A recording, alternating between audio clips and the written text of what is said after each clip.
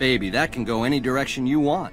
We can take Vegas together, or I can head for the nearest sunset. Your call.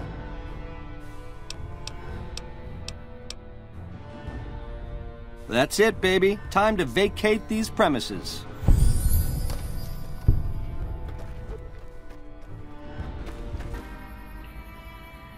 Thanks for getting me out of there. Now, for once, will you just lay down and stay down? No one rules Vegas except me, got it? You're a low-down gopher. You deliver mail. How you like being Mr. Goody Two-Shoes, eh? How's it feeling? Aha!